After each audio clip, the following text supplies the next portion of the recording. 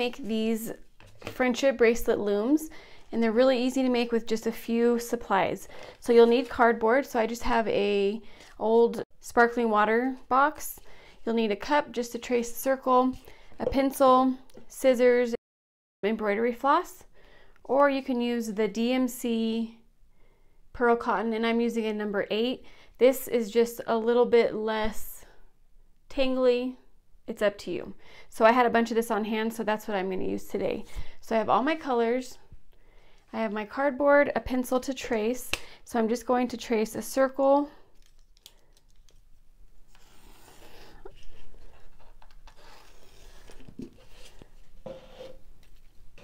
And then I'm going to cut that out.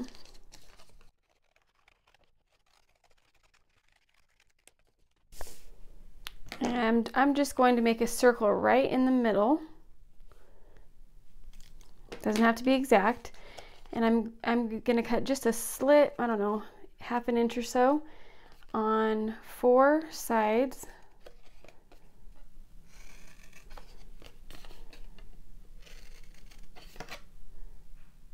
And then I'm going to do one right in the middle of all of them. So there should be eight total.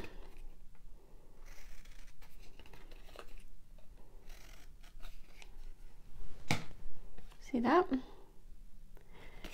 And then the last thing you're going to need to do and be very careful with this, take the point of your scissors and make a hole in the middle of your loom. So be very careful not to poke yourself. And I'm just going to make a little circle. You see that? Yep. And then there's our loom. So now the next step is to get your floss ready. And I like to start from my fingertips and go all the way up to my shoulder. And then I'm going to cut that for the first color. So now I have this green ready to go. And what I'm going to do next is I'm going to take all of my other colors and I'm just going to line up the tops I'm just gonna do that and I'm gonna line all seven of them together.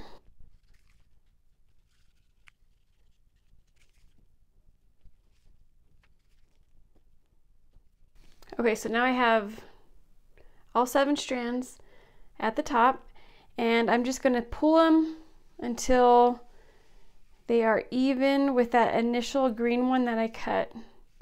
So right about, right about there. And then I can just cut them all at the same time. And I can move those out of the way. So now I have all seven colors and they're pretty even on both sides. Now take one end and you're going to double knot it and you want to leave a little bit of room at for the end to tie it. So make double knot. See that? And I'm going to take it to my loom and I'm going to put that knot to the side that, I guess, I mean, it doesn't matter, but to me, this is the back side. So I'm going to thread that through. There it goes. Okay. So now I'm going to pull my knot through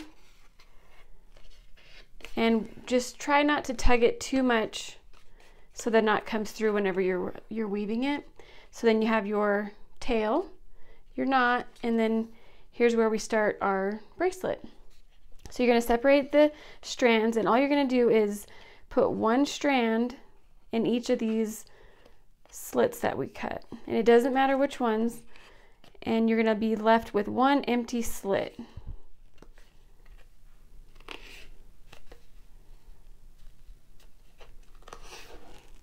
Just keep them separated.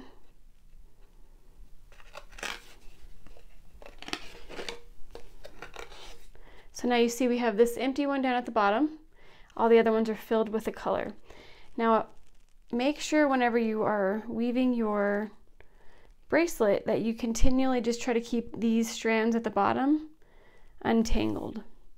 So we're going to start with this empty slit facing you, and you can count one, two, three, and move it, or you can count one, two, three, and move it. It doesn't matter which one. So I'm going to count one, two, three, and this blue strand, I'm going to move it to the empty strand here at the bottom. Then I'm going to rotate where I have this empty slot.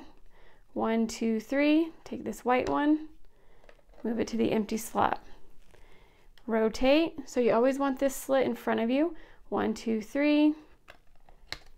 Move it to the bottom. And you're just going to continue that pattern. Rotate it. One, two, three.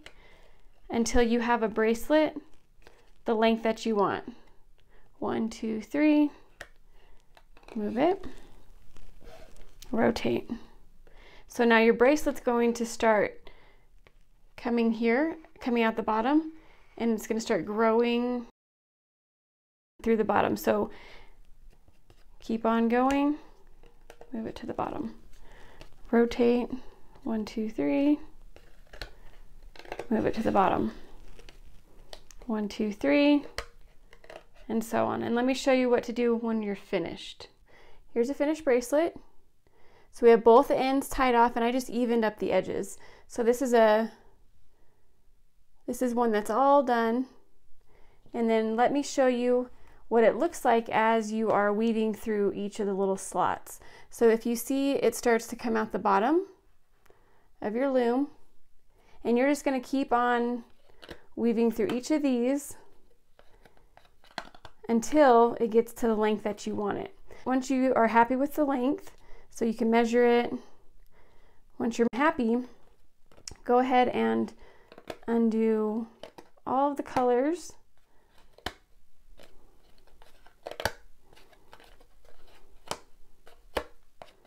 I'm just holding in the middle so it doesn't slip out. And then I'm going to pull my bracelet through, pinching the end so it doesn't unravel.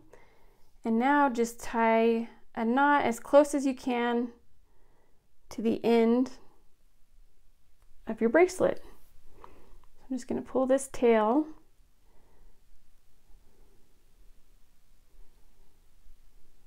there.